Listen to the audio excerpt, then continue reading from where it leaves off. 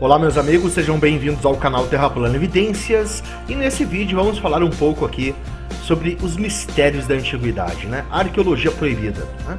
Então levantar alguns questionamentos aí para o pessoal né, que acredita que a Terra é uma bola e que tudo já foi explicado, mas a ciência ainda não explica tudo, né? Então vamos ver aqui, ó. Por exemplo, essa imagem aqui, né? Como que essas rochas elas foram cortadas? Olha o tamanho, tem uma pessoa ali. Né? Eu nunca vi uma serra-copo desse tamanho. Né? Tu acha que isso aí foi cortado com uma marretinha e um cinzel? Obviamente que não. Olha o tamanho da, da pedra que eles tiraram daquele local ali. Né? Olha aí. E tem mais questionamentos aqui. Tá aí mais uma parte. Né? Em escala menor também. Olha ali o tamanho. Né? Ó, em escala menor. Isso aqui com certeza são marcas de alguma ferramenta moderna. O problema é que esses cortes e esses lugares são muito antigos.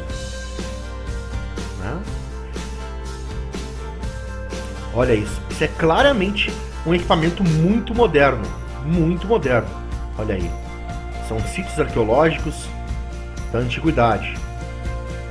Isso aqui é granito. Eu acho que na escala MOS uh, em escala de dureza, só perde pro diamante. Como que cortavam? Como que cortavam isso? Veja isso aqui, meu amigo. Isso aqui não foi feito com uma marretinha e uma talhadeira, um cinzel.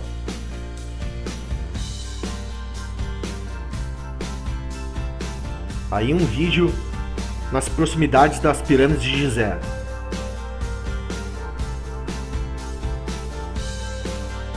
Não tem como cortar uma rocha, né? Desse jeito aí, com rompedor hidráulico, não tem como. Isso aí é um equipamento que a ciência esconde de nós, hein? Olha esses cortes na rocha aí. Meu amigo, tu acha que isso aí foi feito com, com ferramentas rudimentares, tá muito enganado. Olha a precisão disso. Isso é granito, meu amigo. Granito.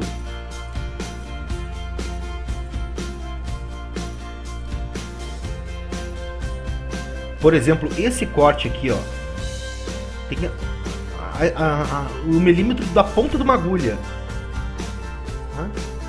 É incrível isso. E para erguer esses blocos aí, olha o tamanho desses blocos. Hoje em dia não se tem equipamento que consiga, que consiga erguer. Não existe trator, guindaste que consiga erguer essa tonelagem de peso aí. Não consegue. Olha o tamanho desse bloco. Aí pesa mais de 100 toneladas, o peso de 100 carros populares juntos.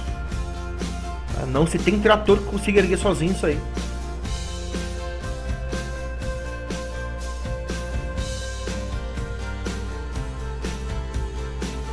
Então a gente tem muitos questionamentos, né? Como que eles faziam isso? Como que eles erguiam? Como que eles carregavam isso? Responde aí, vocês não sabem tudo? Eu quero, eu quero as respostas. Responde aí. Vocês têm resposta para tudo, não é verdade? Vocês já não falaram que a Terra é uma bola? Então, responde aí para mim. O melhor exemplo disso é as pirâmides do Egito. Ninguém consegue descobrir como elas foram construídas. Com toda a tecnologia que temos hoje, ninguém consegue descobrir. Por que será, né? Porque esses cientistas, eles negam a Bíblia.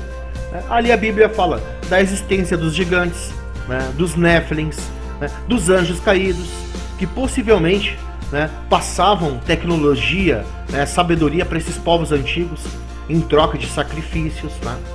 Ou você acha, por exemplo, esse par de meias aí, ó, né, data de 400 anos antes de Cristo, foi descoberto no Egito. Agora eu te pergunto, tu já viu um ser humano com um pé feio desse jeito aí? Obviamente que não, né? O cara que calçava isso aí, com certeza não era ser humano. Né? Então, Uh, nós temos que fazer as nossas próprias pesquisas, porque se esperar informação dessa pseudociência aí dos dias de hoje, a gente vai envelhecer sem saber de nada, galera. Então aguarda aqui respostas, né, do pessoal aí, né, que adora a bola giratória imaginária, né? Eles não são os caras, né, sabe ter resposta para tudo, na é verdade? Então aguardo aí, né? Explica aí para mim. Pode, pode usar o meu vídeo aqui para fazer um react. Cadê as. Como que eles cortavam, carregavam essas rochas? Né? Como que eles faziam isso antigamente?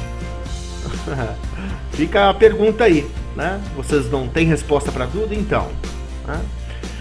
Uh, tamo junto, galera. Né? Espero que tenham gostado aí. Repassem esse vídeo aí porque é muito legal e mais informações sobre os lugares, né? Certinho desses desses monumentos arqueológicos aí está lá na minha página no Facebook que se chama Arqueologia Proibida.